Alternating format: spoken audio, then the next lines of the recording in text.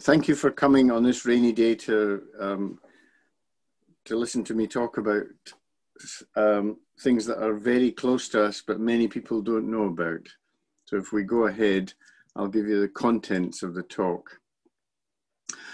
Um, it's the idea that what we've been told um, when we were at school might be wrong, and to talk about the Gask frontier itself, and perhaps suggests that Agricola wasn't the guy who conquered Scotland because he was really a tax man.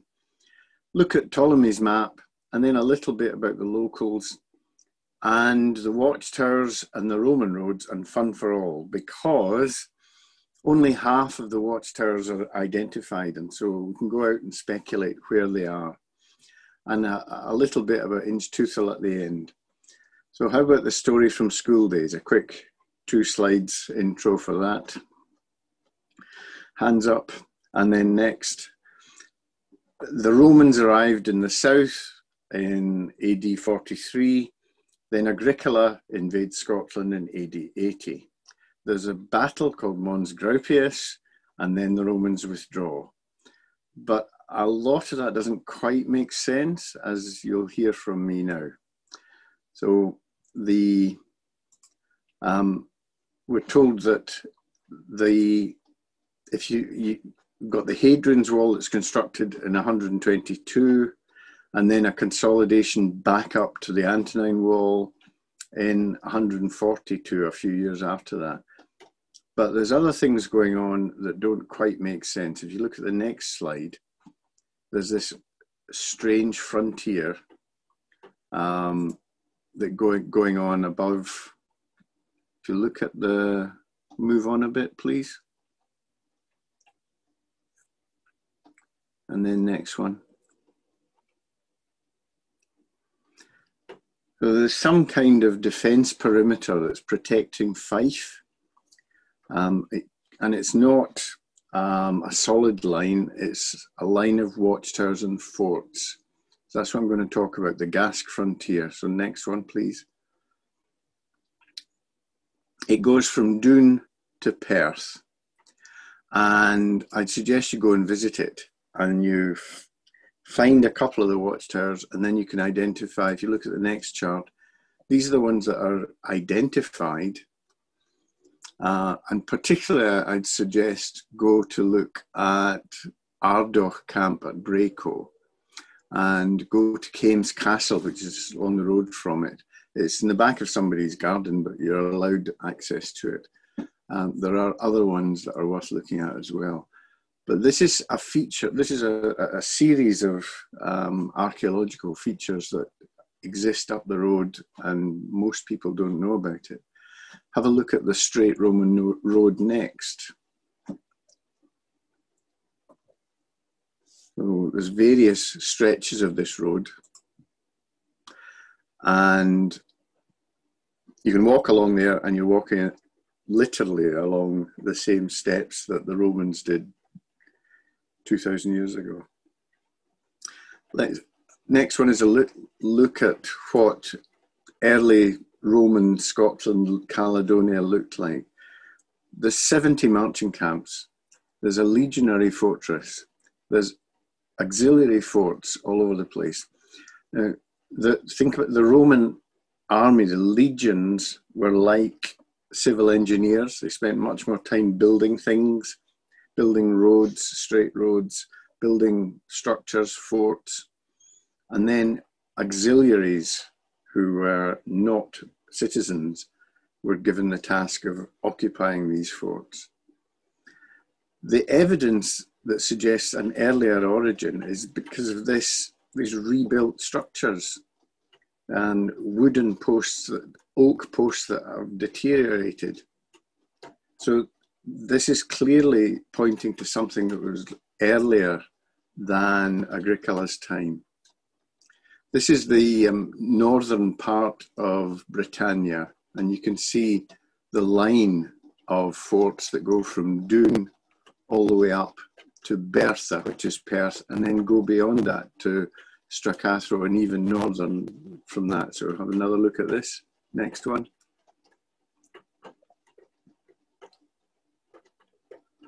So there you see the um, each of the red dots is a, a legionary fortress, and they all became cities apart from Inchtuthil. We'll come back to Inchtuthil at the end.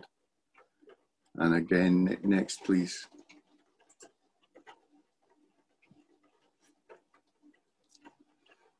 There's, there's references to things going on before Agricola arrived on the scene. There's a clear understanding that Britain is an island, and there's the famous Ptolemy map. So if you look at that next,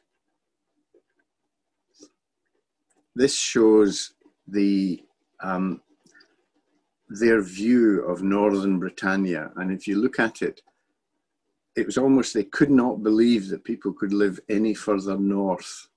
And so they turned Scotland on its side. Um, but you can see the, the, the Tay is there, it's mentioned. The Tyne is mentioned, the Forth is mentioned, the, the Clove is the Clyde. And there's a, a, a big forest in the middle. So that's the understanding that the Romans had at that time. And I think it shows a great knowledge, and they're writing down the names of places that our predecessors didn't write down because they didn't have a, a written culture. But we still have that written culture, in a sense, on the map. That's why we have Dum the hill of the Maeatae, and that's from the Romans. But one of the points that I wanted to make is this next slide. This is just a, a straight steal from Wikipedia, nothing too clever. But Agricola, who's given the credit of um, occupying Scotland, has a reputation as a taxman. The previous four uh, governors were all military, capturing trophies, a bold soldier subdued the Silures. And it's much more, it seemed to me much more likely, given that the archaeology suggests a longer period of occupation than would make sense from Agricola, that one of these others was the first to come north and to take over. So we'll look at the next one, please.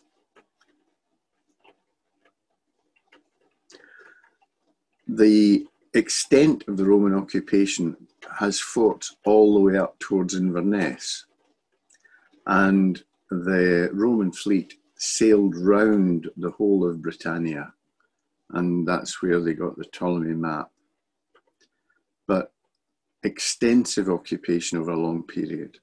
So I'm going to show you now, imagine Scotland on its side, and we'll have a quick look at that and then the Ptolemy again just to see it.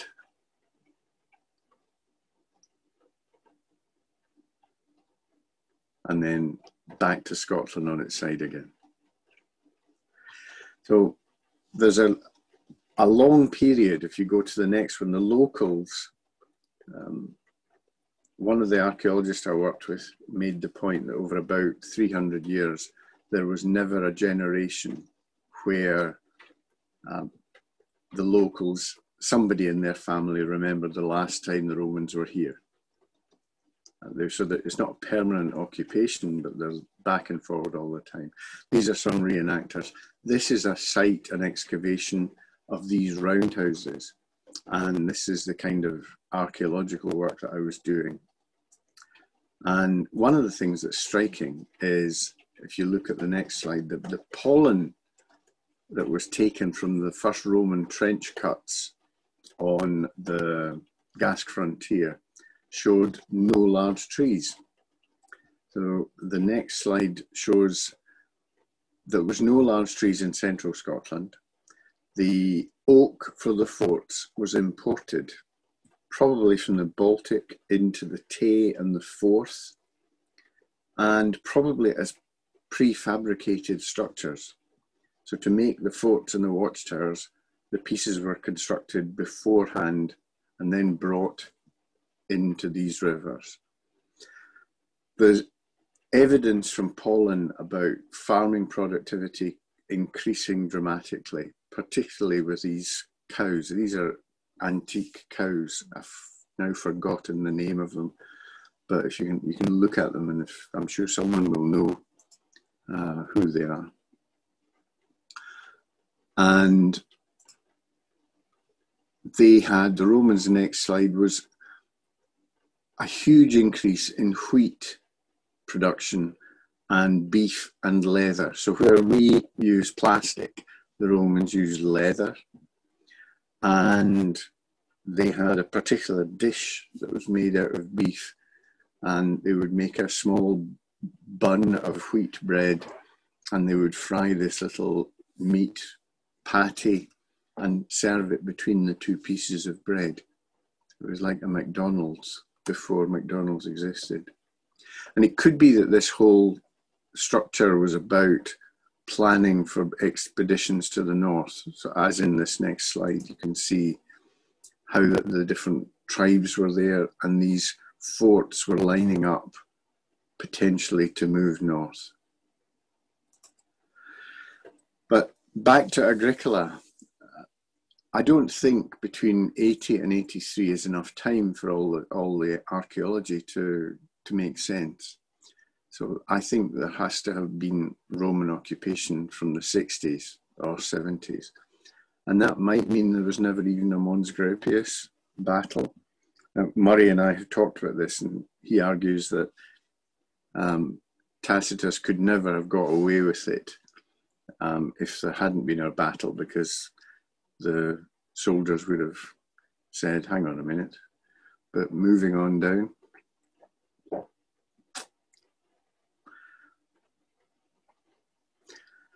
This is to encourage you to go and look. Now, this is 23 miles long. It's 100 miles north of Hadrian's Wall. It's a mixture of watchtowers every thousand yards or so and roads. Stirling is the key crossing point, but the main forts are at Doune under the primary school, at Ardoch in Braco, at Strageath near the farm, and at Bertha in Perth.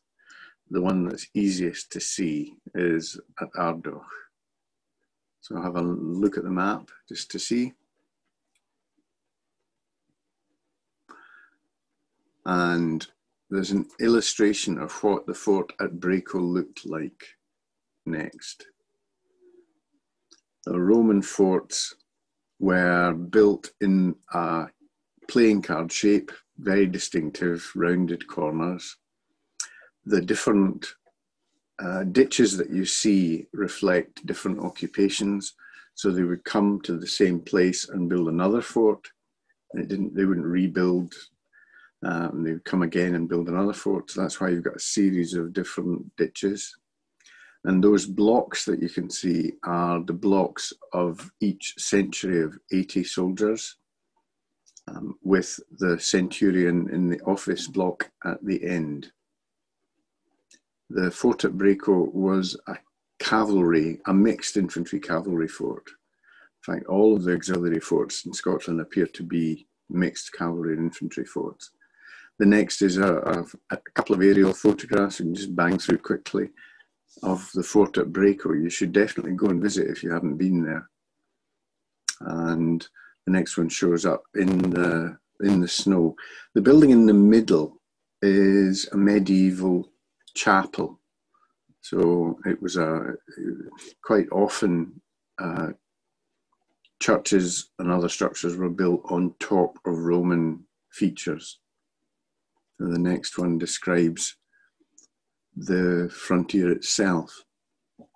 Um, it used to be felt that the Danube was the first frontier the Romans built, but it appears that actually the earliest one was just north of us. It was established 50 years before Hadrian's Wall, and it was turfed forts, timber built watchtowers, and they're every thousand yards and big oak posts holding them up. Imagine this lot, all of this stuff has to be brought in because there's no local uh, trees of any consequence. And a single entrance facing the road. So if you have a look, the next slide shows the road along the Gask Ridge It's an old black and white, but it does the job very well. So that's a, a, Roman road that you can drive on. At the other end, you can um, watch uh, and go along it. Next slide shows the types of watchtowers that were almost certainly in use.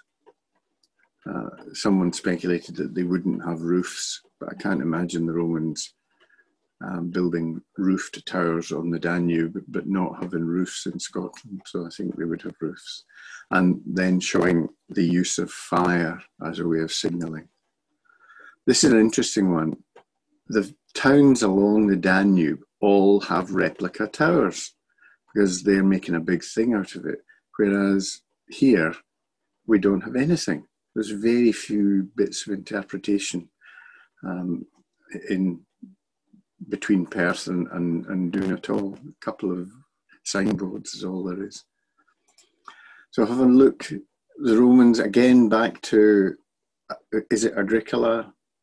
I think he's a civil servant, he's not a soldier. The evidence of rebu rebuilding of the oak towers suggested that there's repeated occupation.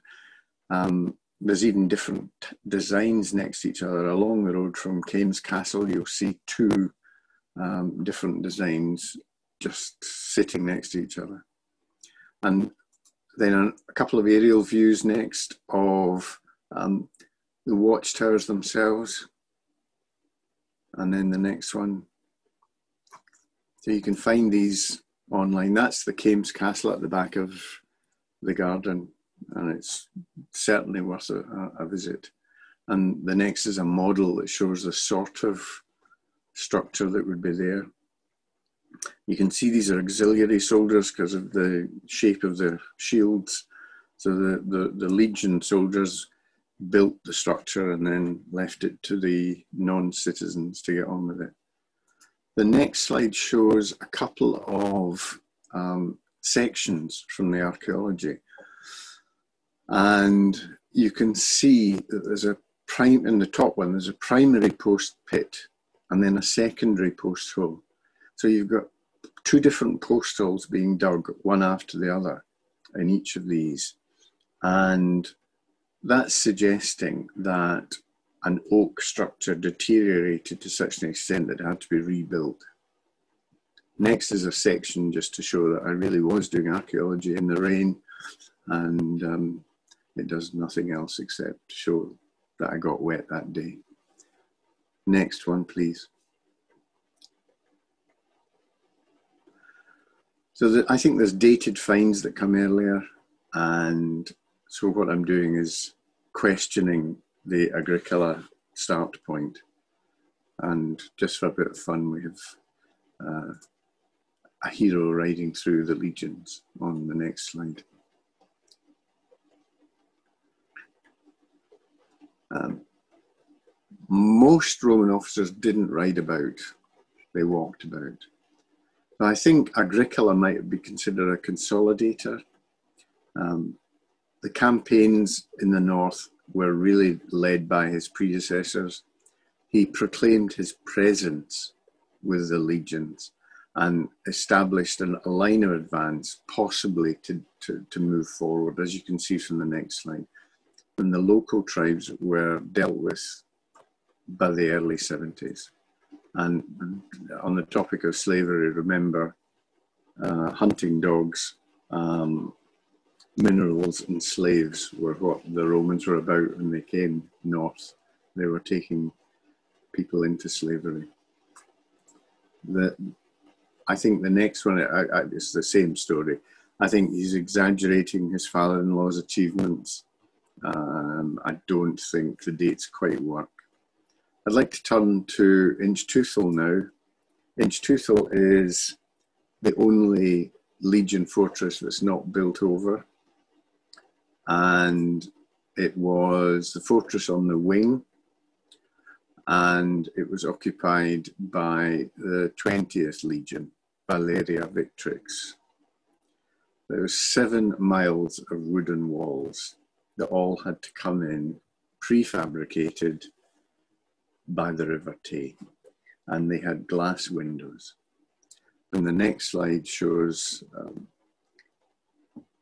uh, Woolliscroft, uh, as and he's soaking wet as well because of the weather. it was shocking that season. Um, and he said to me at one stage, "This used to be the most densely populated site in Scotland." And as you look at the, the fort in the next picture, you'll see why. So it's a legion, uh, 53 acres. And um, again, each one of those blocks is a century. So it's a cohort per uh, block. Um, so the century, and then each one of them, so you can count the number of soldiers who were there. But one of the things that came up from the archaeology was the existence of a huge amount of structures outside the formal shape. So Inchtuthil, the next slide shows that they're they're withdrawn.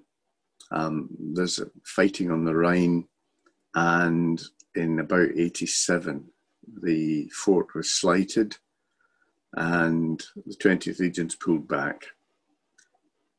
And the, the nail story is fascinating. You look at the next one, there's seven tons of nails that were found. And the archaeologists, so they'd hidden them because iron was uh, an important military source, resource. They dug them into the ground and they were found in the 50s. And I can't remember the name of the chap who um, found them, but he gave large numbers to every museum he could contact, and then he still had tons left. So it finished up in Motherwell at the ironworks. So that's the end of the story. A little quick look at the the diagram showing where Inchtuthil is, and that's Agricola and the first frontier. And thanks very much. Go on. Positive. Thank you, Jim. That was fantastic. I really enjoyed that. Very well illustrated. Very well. Uh, not a very good knowledge of that whole subject. So, if I can, uh, I'll ask everybody to uh, unmute if you can and uh, give them a round of applause, please. Thank you very much.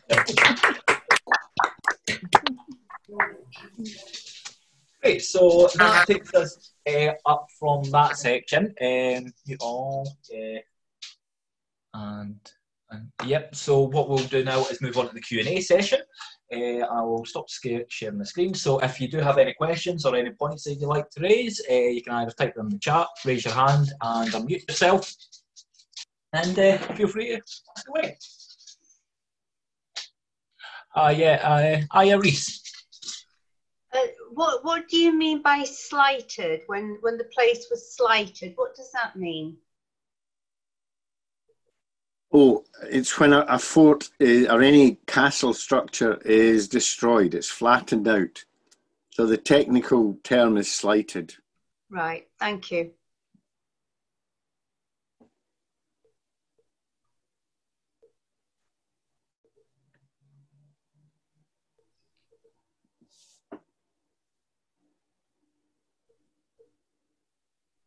Sorry, I had myself muted there. Sorry about that. Uh, thanks for your question, Isa. Uh, were there, I'm going to say this wrong, but were there kills at Arux, Arox? They're not totally wrong. It might be earlier. Are they not? Are they not more prehistoric than than Roman? But I can't remember that. I, I remember sourcing that image for for a very early cow species, but I thought aurochs were like the size of horses. They're huge things. It seemed quite reminiscent of like what the Egyptian ones would have, like very early domesticated cattle. Um, but yeah, that was quite interesting. I enjoyed that with the Celts. Um, given the nails were hidden, uh, do you think they were intended um, intended to be returned? Do you think they were um, hidden to be reused again? I doubt it. I think that it showed that they were leaving without much notice. Mm-hmm. So they probably hadn't finished the construction, and the, because of the stuff on the, the eastern part of the empire, they they were just called out very quickly and told to get south. And because iron was such a valuable commodity, they, they, they, they weren't able to transport it back and they just buried it in the ground to hide it from the locals. I, I, like the idea that he couldn't give away he couldn't give away seven tons of nails. the only thing he could think of doing was sending it to the steelworks eventually. I've got in my head making you know, like the Game of Thrones, how it's all about swords, making it with iron nails, yeah, something like that. Yeah. Um, but no, no, it's, it's, nice that they've been distributed among so many museums. Um, in the absence of oak pollen, uh, actual evidence or is the absence. I'm sorry, let me start again. Is the absence of oak pollen actual evidence of the absence? Sorry, that's a tongue twister for me. Uh, so, no, it's a it's a fair point that it was one of these things that came as such a surprise when the work was done. The the people, the only pollen from 2,000 years ago that was around was willows and small bushes and things like that. Uh, our forebears had cut down all of the trees uh, for agriculture. And if you think about um, even the 1700s, the the the trees, the, the the wooden structure that held up your roof was valuable, and people would take it with them when they moved to another firm tune. Uh, so just not enough solid oak mm. around this area. Uh, it's, it's something that has been quite irresponsibly managed. Uh, I remember hearing something that the only un bit of forest in the whole of Europe that's never been cut is in Poland. Uh, there's a few hectares of it, um, and it's the only piece of woodland that's never been harvested before. So, uh, that's something that's in the whole of Europe. There. Um, we've got Catherine asking, how does Carpow um, fit into this era? Am I saying that right, Carpow? Carpow? Oh, the the um, there's a again there's a piece of excavation there. If you look at the the Roman Gask website. It's not been live for a little while. I don't know quite why Woolliscroft and his wife Birgitta haven't been active, but the, the report is on there and there's a description and diagrams of how it fits in. But I mean, the thing for me is the idea that they had created a road network up past Aberdeen to Inverness. And it, it's, I can't remember exactly, but it's like you could get a letter from Aberdeen to Arabia in three weeks or something ridiculous. in Roman times, it wasn't hardly repeated until recently. uh, are there any other questions around the room? Uh, if, if you've got any, any do ask you a question. I, I, I, I, did ask you at the start, but not everybody would have been here at the start, uh, Jim. So, uh, what's uh, how did this uh, lecture come about? What were, how did this? What's your background in it? I uh, volunteered. I volunteered to uh, work with the Roman Gask project maybe 15 years ago and did it for about 10 years. Um, a lot of geophysics and some excavation and it's quite striking how uh, effective that line of watchtowers would have been. It's not a defensive line as much as something to do with taxation. If it was a defensive line, it would be either more dense or less dense. But having a watchtower every thousand yards uh, with the soldiers supplied from these cohort forts, the one at Ardoch, at Doune, at Strageath and at Perth, um, maybe 500 soldiers in each. And they, are providing the people in the watchtower, and it's about control, it's about taxation. And so they're, they're managing this, the flow of people north and south, and probably establishing Fife as uh, an agricultural resource because of this demand for wheat and uh, beef and leather.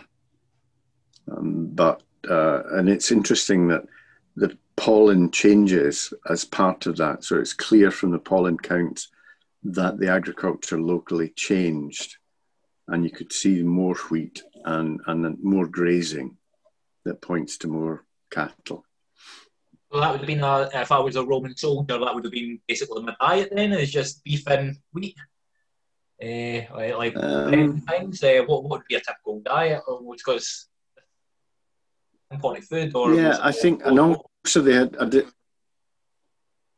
a, disgusting fish sauce as well. They had, so they they they got the fish to rot and then created a sauce out of it.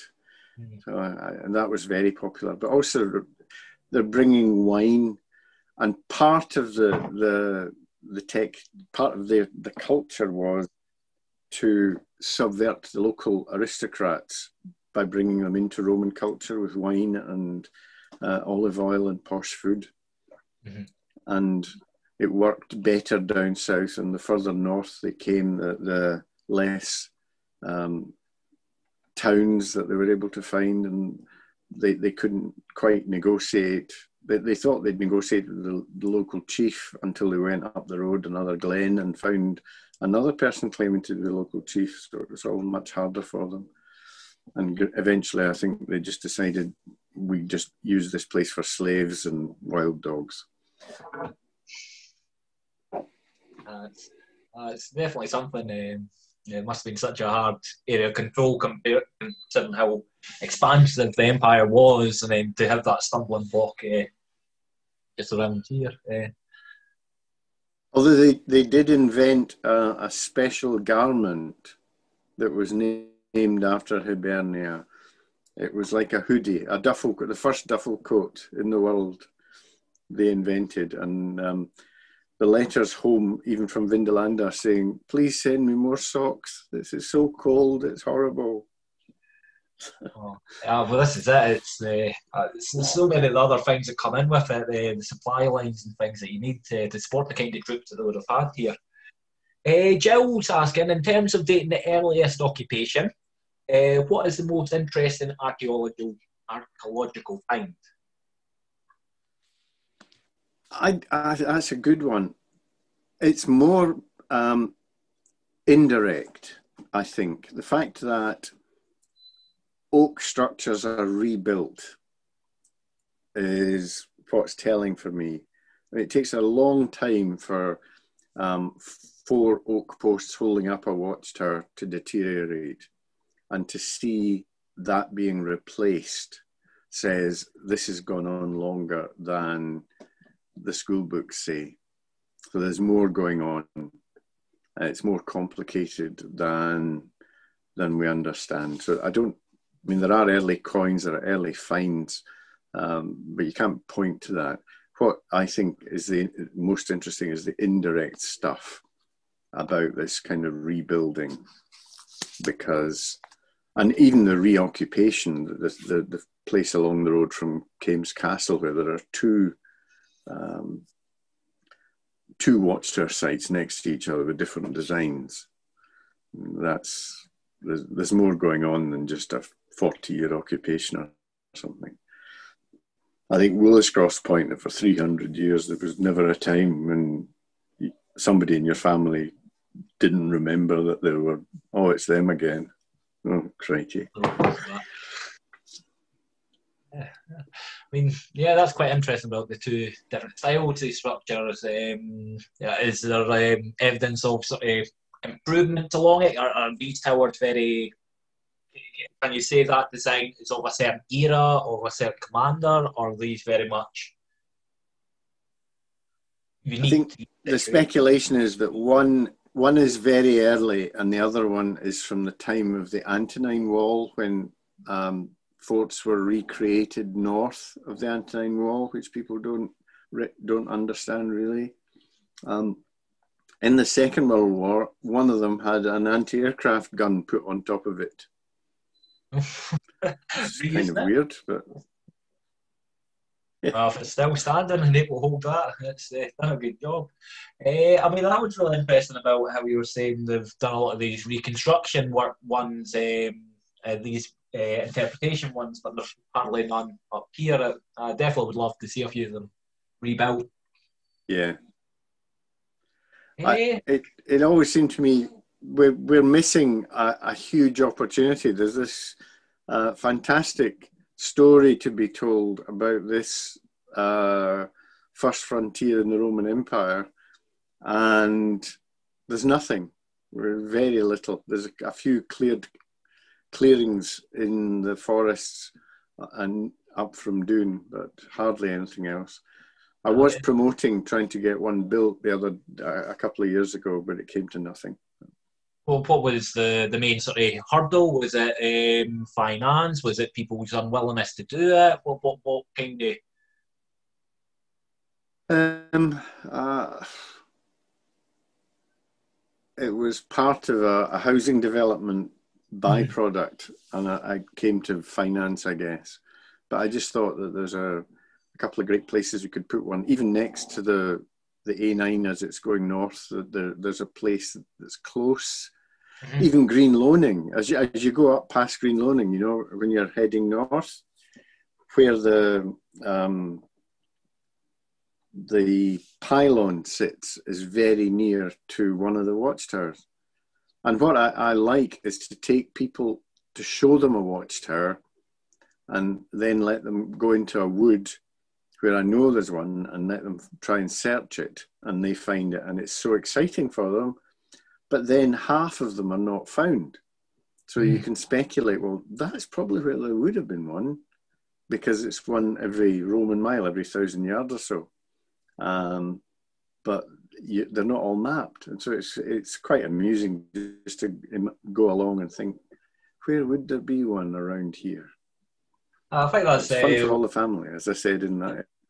Yeah, well, definitely. It's, it sparks that mystery because there are a lot of things. All the world's all explored, out, everybody is mapped out, but there's so much there that's been forgotten, lost that can be rediscovered, and it just makes uh, people interested in it. The next generation things get involved.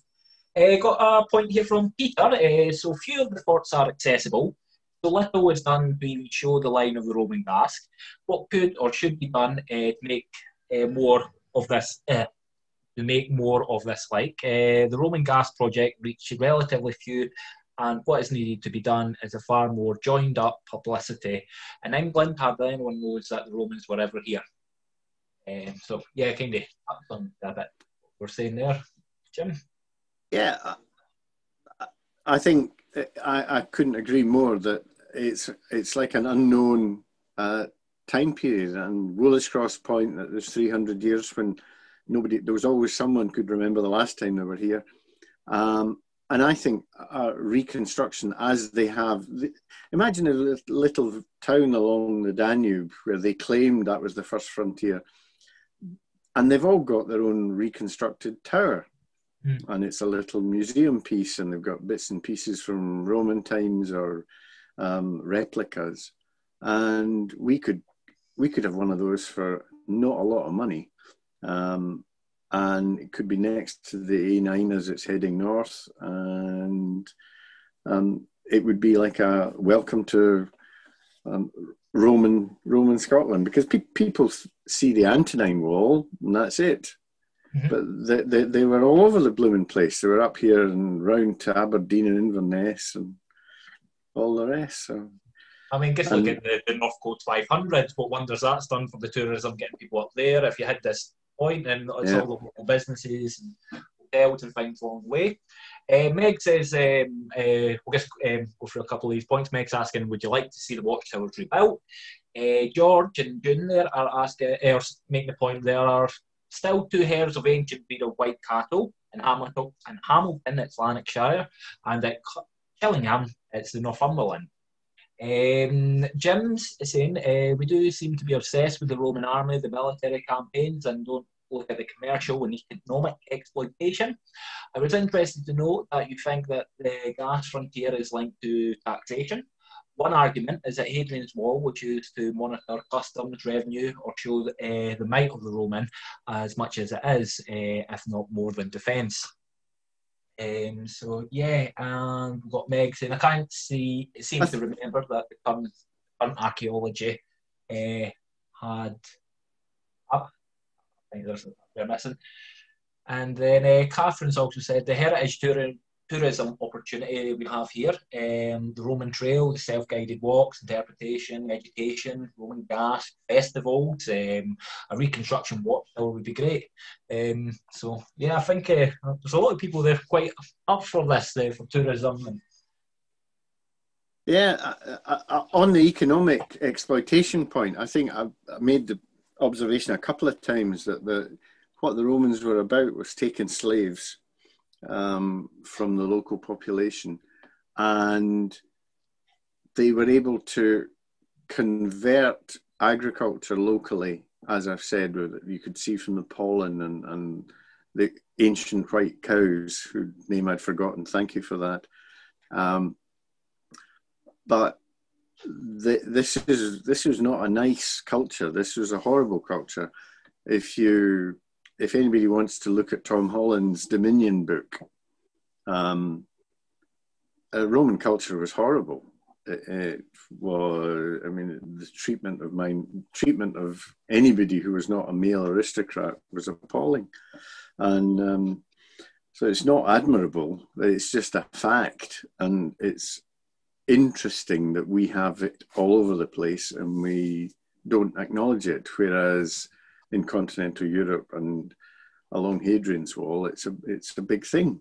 Mm-hmm. Um, so it's there's a tourist opportunity kicking around, even although their society was pretty horrible and they were all about slaves and capturing red-headed people from here. A bit like you, Ross, you know. Yeah, got a cupboard full of redheads. no, no, definitely not. Uh, but yeah, no, it's um, no, it's a, it's a fascinating thing. Uh, as much as it was the, the, control of the resources of the people, you've got the uh, aspect of taxation control, but that installing of the way of life and the class system. Um, uh, yeah, so uh, a lot of mixed things in there. Um, ties really nicely in next week's lecture on slavery and Stirling's link in particular with it. Um, but yeah, it's. Uh, yeah, it's a, a different, a, certainly a different time, uh, place where acceptable to have indentureship and slavery. Um, ah, here's the book there.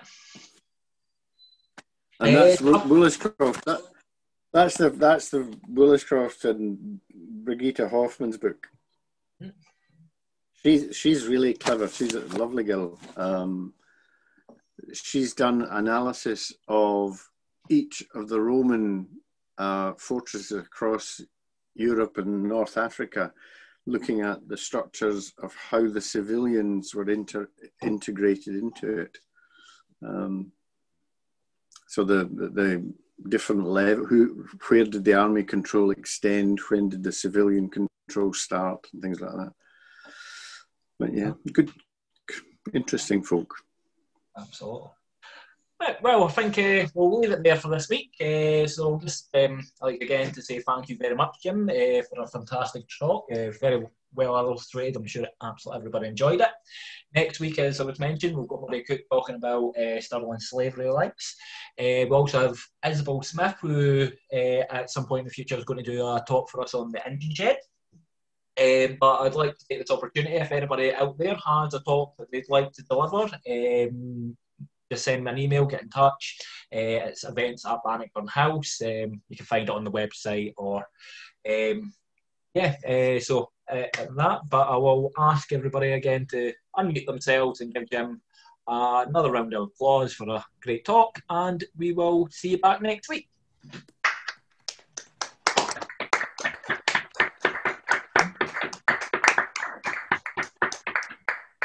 All the best, guys. Have a great Wednesday.